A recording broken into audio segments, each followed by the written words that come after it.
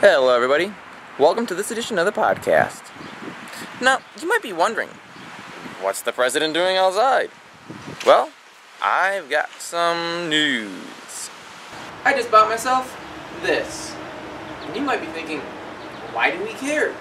Well, I'll tell you why in a minute. This beautiful, used, 2007 Honda Silverwing is going to be taking up a bit of my time for a while. See, I've got to get it registered. Uh, tires need replacing, got to replace oils, filters, spark plugs. Needs a bit of work.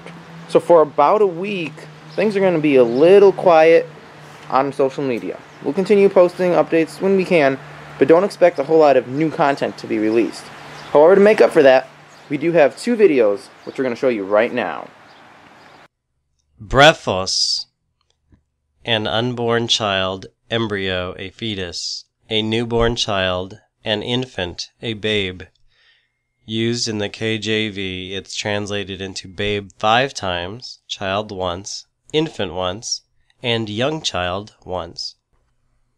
Paidion, a young child, a little boy, a little girl, infants, children, little ones, an infant, of a male child just recently born, of a more advanced child, of a mature child.